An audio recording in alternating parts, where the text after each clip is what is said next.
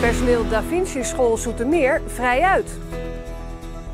Flitspaalboeven blijven langer vastzitten. En ZZ Leiden onderuit tegen Turken. Welkom, dit is het TV West Nieuws van donderdag 10 november.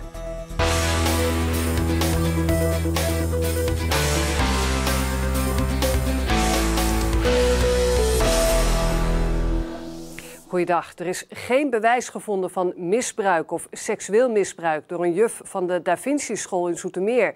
Ook de directeur van de school gaat vrij uit. In september hadden vijf ouders aangifte gedaan van misbruik met hun kinderen. De juf zou de kinderen te hard hebben gestraft en er zouden ook naaktfoto's zijn gemaakt. Maar justitie heeft dat niet hard kunnen maken. Er wordt weer hard gewerkt in het centrum van Den Haag. Sinds kort staan er naast de VND houten schotten. Erachter ligt een bouwplaats, afgescheiden van de openbare weg, de Grote Marktstraat. Verslaggever Mark Kool bekijkt de puinhopen achter de houten schotten.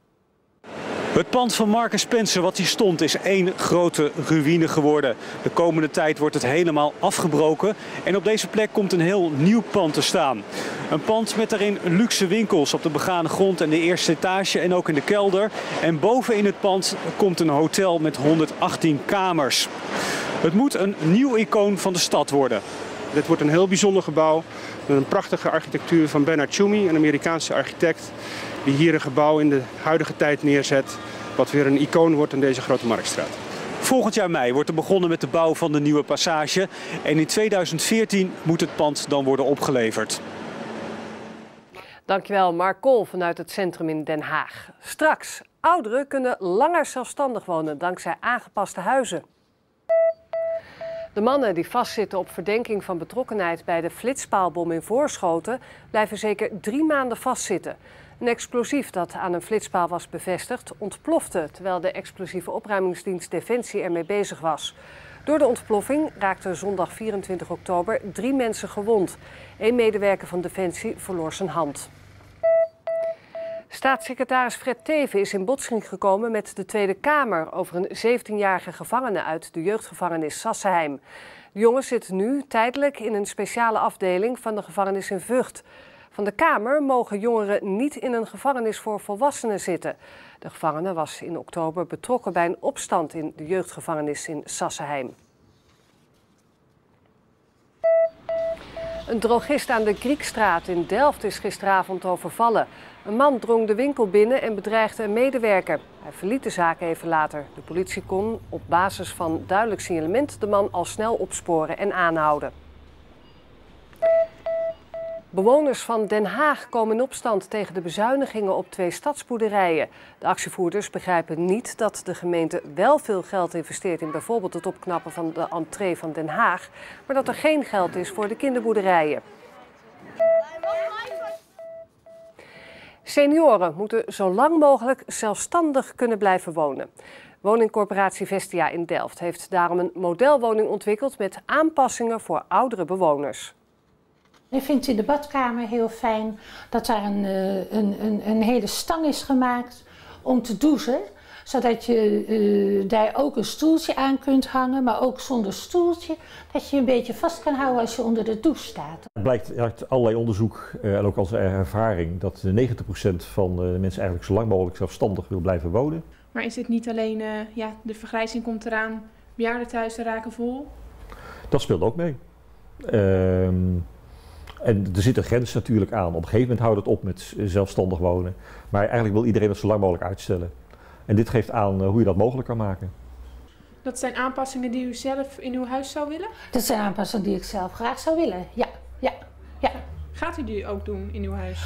De beugels in elk geval uh, ga ik doen, ja, ja, ja. En in de badkamer wil ik kijken of ik uh, een, een, een soortgelijke voorziening kan maken. Het bericht dat de openbare school Zwanenburgt in Zwammerdam moet sluiten, komt hard aan in het dorp. Het is niet rendabel meer om de school, die dit jaar nog maar 39 leerlingen telt, open te houden.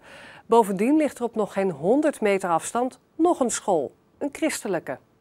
Met nog geen 2000 inwoners heeft Zwammerdam maar liefst twee basisscholen, een openbare en een christelijke. Het dorp krimpt en dus ook het aantal kinderen neemt af.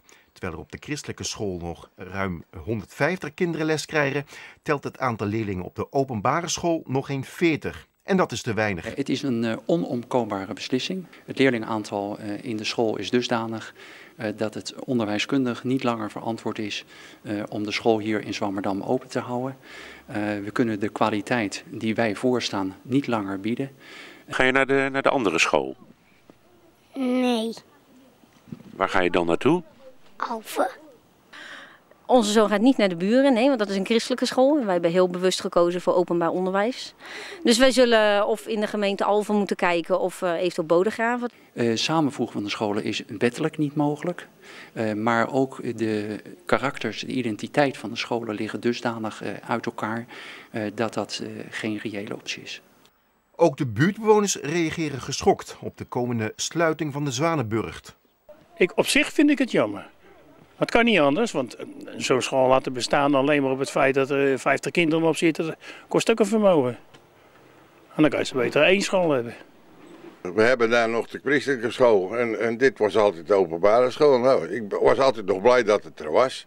Aan het einde van dit schooljaar, in augustus 2012, sluit de Zwanenburgt definitief de deuren.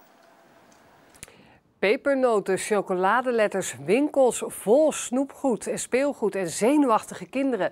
Het is weer bijna zover. Aanstaande zaterdag komt Sinterklaas aan, ook in Den Haag. En speciaal daarvoor is een aantal hulppieten alvast vooruitgereisd, want er moet nog wel het een en ander worden voorbereid. Hé, wat is dat nou? Zwarte pieten op het ijs, zwarte pieten aan een klimmuur en zwarte pieten in de sneeuw. Wat is er nou toch aan de hand?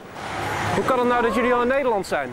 Ja, er moeten altijd een paar pieten vooruit natuurlijk om te verkennen hoe het gaat. En zeker hier, want Sinterklaas heeft gezegd dat het een hele strenge winter gaat worden. Komt het nou wel goed met het, uh, met het oefenen? Want jullie hebben nog maar drie dagen. Ja, dat komt wel goed, maar we zijn dat niet gewend. Oh, deze moeten allemaal gevuld zeker. Vast oefenen. Uh, Piet, Piet. Wat is, wat, is, uh, wat is dit nou voor oefening? Nou, dit is om te leren dat we op de gladde daken straks, want ze verwachten heel veel sneeuw. Dus ja, we moeten oefenen op de daken. En dat kunnen we hier bij de Uithof natuurlijk hartstikke goed, want hier hebben ze veel sneeuw. Want er is nog geen sneeuw in Nederland. En dit lijkt een beetje op een dak. Uh... Dit zo, dat heeft altijd de bovenkant. Wij lopen het liefst op die rand. Dan kunnen we het snelste over de daken. Koud. Oh, oh, hier is het warm, hier wordt het warmer. En nu moeten ze nog door naar misschien wel de belangrijkste oefening. Het klimmen richting de schoorsteen. Ja, kijk uit nou maar Piet, volgens mij moet, moet jij omhoog. Oh, toch? Doe ik het verkeerd? Ja, volgens mij wel. Ik vind, het hem, ik vind het hem makkelijker doen. Okay. Is dit nou een goede oefening? Ja, dit is wel een hele goede oefening, maar het is heel anders dan de daken. Wij zijn dit niet gewend. Dit is zo stijl, dat lijken meer flatgebouwen. Maar ja, die moet je ook weten, want ja, de kinderen wonen ook in flatgebouwen. Ja, precies. Dus je moet toch oefenen. Rustig aan, rustig aan. Zijn jullie er nou klaar voor? Nou, wij zijn er klaar voor. Helemaal. We hebben heel goed geoefend.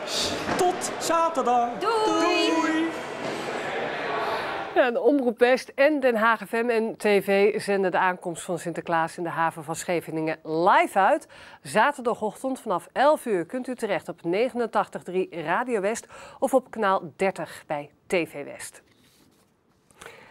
De basketballers van Leiden hebben hun eerste wedstrijd in de Euro Challenge verloren. In de eigen 5 meihal was de Turkse topploeg Besiktas een maatje te groot. De Leidse gezichten stonden er gisteren bedrukt bij. En de Turken van Besiktas die vierden feest. Want hun ploeg won met grote cijfers van ZZ Leiden. Een score van Seamus Boxley voor de Leidenaren. Maar uiteindelijk werd het 58-86 voor de miljoenenploeg van Besiktas. 58-86 en er was weinig te genieten voor de verliezende trainer Toon van Helfteren. Op het moment dat je 15 achter staat en het gaat over de 20, dan, uh, nou, dan valt er voor mij als coach niet zo heel veel meer te genieten. En dan maar naar het weer. De merels fluiten, de rozen bloeien, Weerman Huub Museum. Wat staat ons vandaag te wachten? Nou, vandaag wordt het eigenlijk ook weer een hele mooie herfstdag. Wel kan er in het begin van de ochtend misschien hier en daar wat laaghangende bewolking voorkomen. Of wordt het een klein beetje mistig, maar dat zal vrij snel verdwijnen. En dan krijgen we een zonnige dag. Voor de rest hebben we een uh, zwakke tot matige oostelijke wind. En de maximumtemperatuur die wordt vanmiddag ongeveer 13 graden. Blik ik nog even vooruit op ons programma Tiswat. Vanmiddag eh, onder andere de 22-jarige Antonia. Als achtjarig meisje kwam ze met haar moeder naar Nederland. En binnenkort doet ze mee aan de Miss Africa Netherlands verkiezingen. Die wil ze dolgraag winnen om geld op te halen voor haar geboorteland Nigeria. Hallo. Goedemiddag iedereen. Hoi. I am the voice. You are unique. We are all unique and you need me. Thank you. Ja, benieuwd hoe ze eruit ziet? Vanaf kwart over vijf kunt u haar bewonderen in een nieuwe aflevering van Tiswat hier op TV West. En tot zover het TV West nieuws voor nu. Straks kunt u nog kijken naar ons opsporingprogramma Team West. En meer nieuws vindt u op onze website westonline.nl en op 89.3 Radio West. Vanmiddag om 5 uur is er weer een nieuwe uitzending van het TV West Nieuws. Graag tot dan, prettige dag.